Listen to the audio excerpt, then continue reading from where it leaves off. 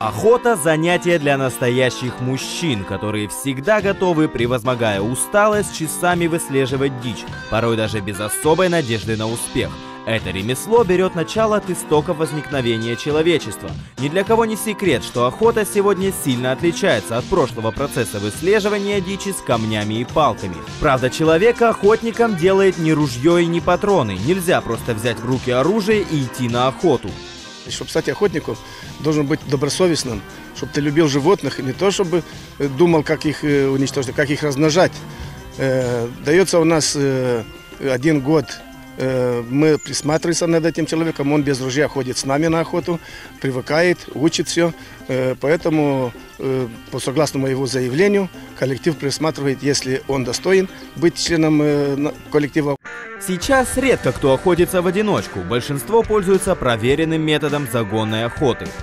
Мы делаем мероприятие по отстрелу волков, собак, лис и ворон.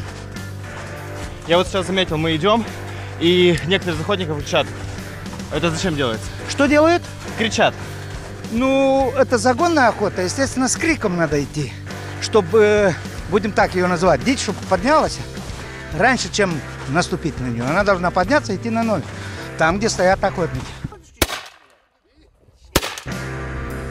Эти охотники так называемые номера. Они стоят в укрытии и ждут, пока загонщики, громко шумя и крича, выгонят на них добычу.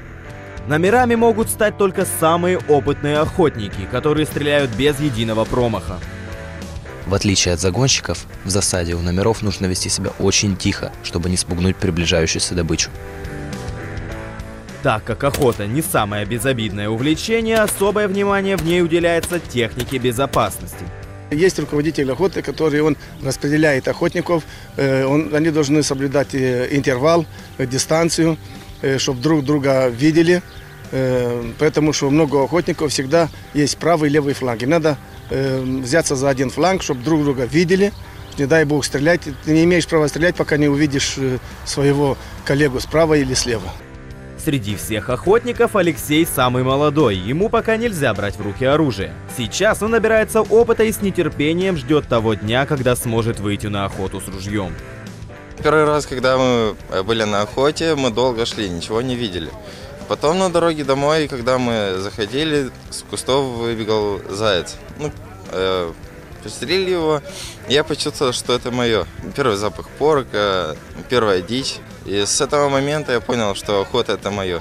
И стал ходить на охоту с моим дядей. Охота – это не просто увлечение. Благодаря подобным выходам охотники контролируют популяцию животных в лесах.